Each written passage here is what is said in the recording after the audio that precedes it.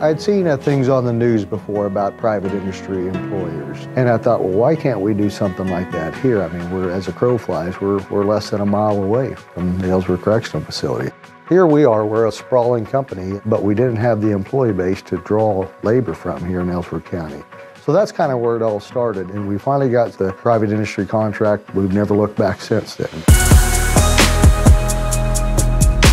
I grew up rough, you know, because I didn't have my high school diploma, came to prison, changed my life, man. I heard I could get my GED through Barton County. Okay. I said, okay, sign me up. You know, they have a lot of programs here at Ellsworth Correctional Facility. They have Thinking for a Change, and they have NA groups that come into the facility. The beauty of, of being here is that uh, Mr. Cox and the company allows you, if you want to, to learn anything. But he'll teach you. You know what I'm saying? Uh, in my yeah. interviewing process, he told me, I told him, man, I wanted to learn whatever you wanted to teach me. Yeah. He said, well, I'll teach you whatever you want to learn. So I thought that was great. Well, hey, the one thing about uh, being in metal fabrication and having these skills, man, they transcend. Uh, you can do them anywhere in the world. So, I mean, I'm developing works, workable skills, you know, marketable skills. You know, these they go out and apply for different jobs, and they put me down for reference. And these guys never have any trouble finding jobs. I've gotten out before with nothing you know, with the $100 gate money. I've seen guys get out and have a $100, and that's just a hotel and a meal. The beauty of it is, man, it gives me a, an opportunity to leave here with some type of financial stability. You able to save some money to help you with that transition? Oh, absolutely. Yeah, it changed my life, man. I mean, I, by the time I get out of here, I'll be set. I will be okay. As far as reservations, as far as hiring people with a felony background, there's a lot of good guys that just simply made a bad choice at some point. Doesn't necessarily make them a bad person for the rest of their life. We human beings, man, we pay taxes. Some guys just send money home just to help their spouses, just to help pay bills. You know what I'm saying? We're trying to do the right things, you know what I mean? But in a lot of us, all we want and need is the opportunity. The lifestyle before, it wasn't real terrible.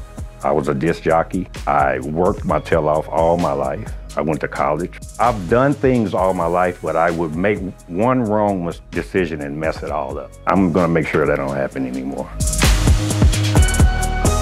They've got so much to lose and nothing to gain by getting into trouble. So uh, they tend to be our best employees.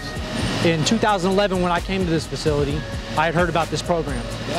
And I had criteria to meet in order to get to this level, of course. Right. And it gave me hope to stay out of trouble. And it put me on the right path. Yeah. It really did. I mean, yeah. honestly, it did. If I didn't have the opportunity to come out here and do this, I don't know where I'd be at today.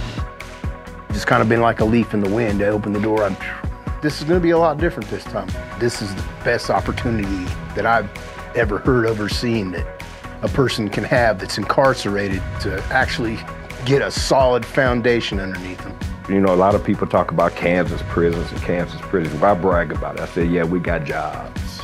It would be great if every facility in the state of Kansas in the Department of Corrections had a private industry program. I'd like to see every guy have this opportunity.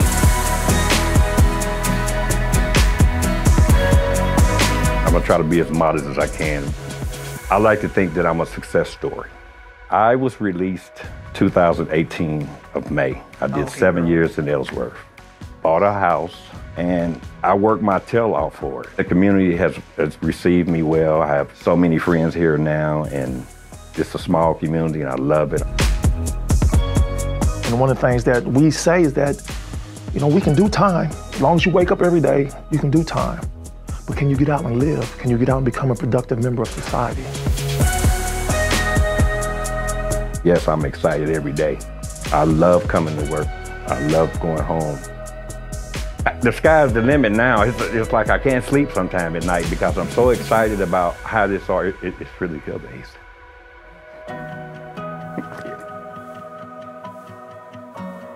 Why is this so emotional? For you? Just uh, happy, happy that it works. And if you could just go over and over and over and over, people will get it right someday. And, and, and that's, that's what this has done. I know it can do it for many other people, and I know other people that's been successful.